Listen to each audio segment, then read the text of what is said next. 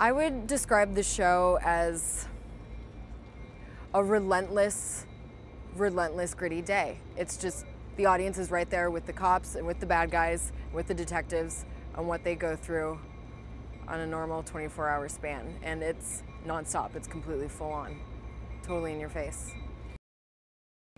I think what makes the show unique is um, how character driven it is. Most cop dramas can be very about whatever the case is of the episode.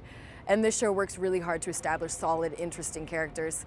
And we're really set on being as authentic as possible as cops and detectives. Um, the Chicago Police Department's been really awesome about helping us out and giving us all the information we need and how to be legit. And we've really tried to bring in um, the attitude that they have. There's a lot of, a lot of fun, even though it's sad, gritty work sometimes. It's still, they've, these cops have found a way to make it enjoyable and you know, laugh sometime throughout the day.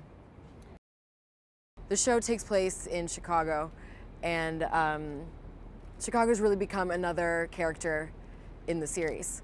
And so we've really taken advantage of all the great architecture, all the great locations. Um, we're kind of trying to adopt this Midwestern gritty city feel. Officer Vonda Wysocki is a tough cookie. She doesn't take any crap from anyone. Um, she knows how to hack it in a man's world. The main thing that I've learned is how to shoot a gun because I had no idea before starting this show. I, don't think I'd ever even touched one. The first time I went to a shooting range after I got this, I shot the ceiling first. And bits of metal came ricocheting back at me. So I think I've come a long way in that sense. Very proud of that.